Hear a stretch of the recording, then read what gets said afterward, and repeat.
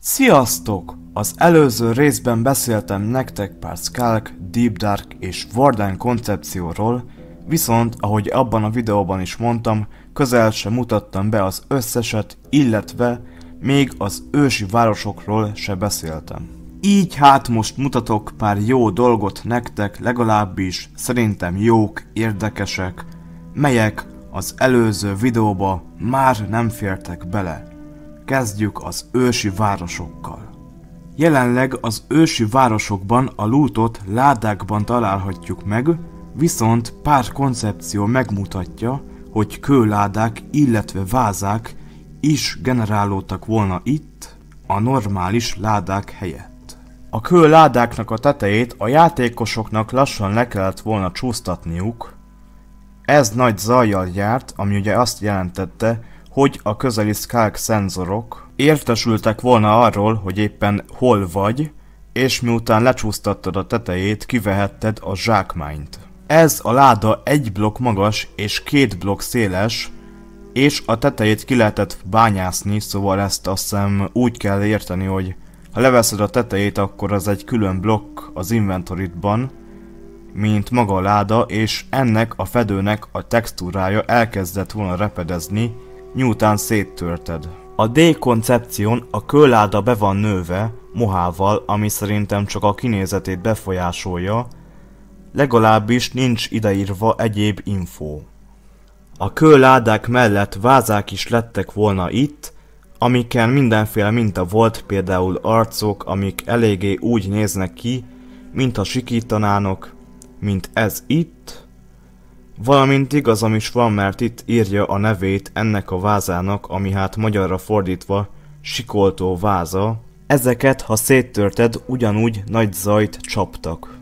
Itt van pár koncepció, hogy az ősi városokban milyen mintájúak lehettek volna a falak, ami nem hangzik olyan érdekesnek, mert nem is az, viszont itt azt írja, hogy két blokk, illetve négy blokk vastagságúak lehettek volna ezek a blokkok. Amit nem tudom, hogy úgy kell ezt érteni, hogy mondjuk leteszed a blokkot és egyszerre kettőször kettes blokkot teszel le, vagy úgy, hogy egymáshoz kapcsolódnak a textúráik, ha leteszed őket egymás mellé, de szerintem az utóbbi.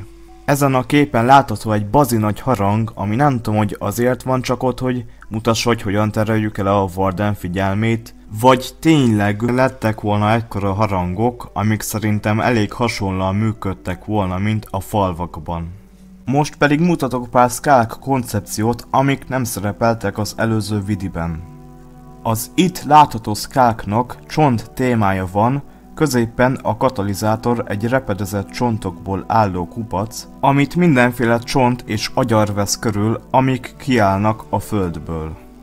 A kövinek nagyon sötét anyaga van, benne errek láthatóak, a katalizátor is egy ilyen fekete cumó, ami egyfolytában sötét partikülöket bocsát ki. Ez is szintén egy sötét cucc, és ennek cikcakkos irányban terjednek az erei.